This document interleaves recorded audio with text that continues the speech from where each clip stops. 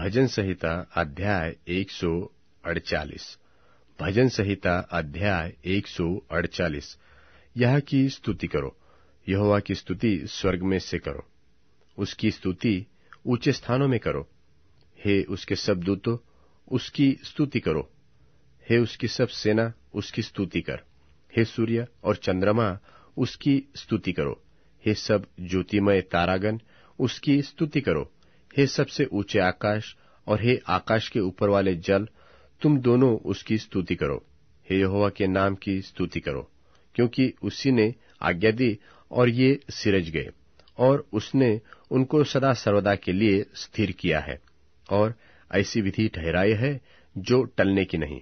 पृथ्वी में से यहोवा की स्तुति करो, हे मगरमच्छ और गहरे सागर, हे अग्नि और ओलो, हे हिम और कोहरे हे उसका वचन मानने वाली प्रचंड बयार, हे पहाड़ों और सब टीलों, हे फलदायी वृक्षों और सब देवदारों, हे वन पशुओं और सब घरेलू पशुओं, हे रेंगने वाले जंतुओं और हे पक्षियों, हे पृथ्वी के राजाओं और राज्य राज्य के सब लोगों, हे हाकिमों और पृथ्वी के सब न्यायियों, हे जवानों और कुमारियों, हे पूर्णियों और बालकों, यहोवा के नाम की स्तुति करो।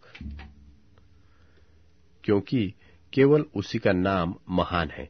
उसका ऐश्वर्य पृथ्वी और आकाश के ऊपर है और उसने अपनी प्रजा के लिए एक सिंह ऊँचा किया है। यह उनके सब भक्तों के लिए, अर्थात इसराइलियों के लिए और उसके समीप रहने वाली प्रजा के लिए स्तुति करने का विषय है। यह की स्तुति करो।